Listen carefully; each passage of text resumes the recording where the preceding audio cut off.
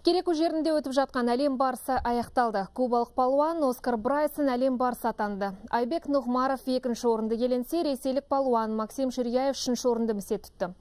24 кезет арнасының түсіру тобы сайыс көрігін қыздырған сайып қырандардың әр белдесуін назарда ұстады. Рымбек, сөз кезек өзіңізде.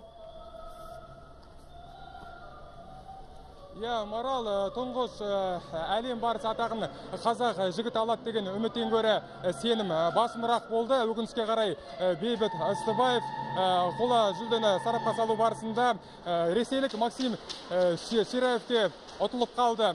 Ал санаулы минуттар бұрын шешуші әрі соңғы ақтық кездесу болған болатын. Мұнда айбек нұғымаров пен кубалық оскар де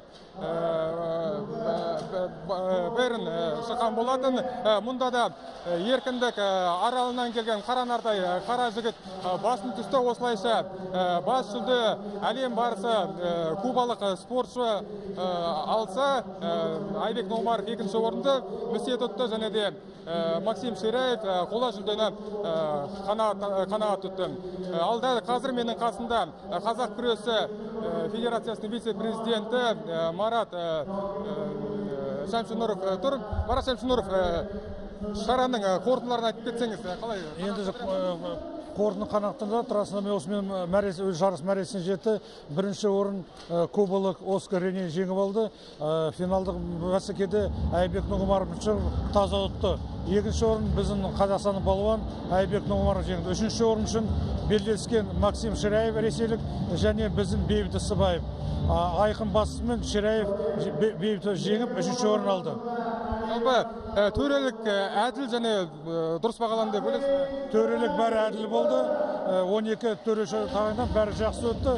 Бас төреші марат жақит ол өте тәжірибелі төреші.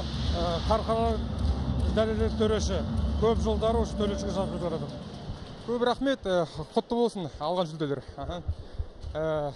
Сайып қырандарымыздың өнеріне қиқу қосқан үш мың үш мыңға жуық көрермен осылайша жаңағы ұйымдастырушылар атап өткендей әділ де төрелікпен ұтымды керемет күрес шеберлігін байқады.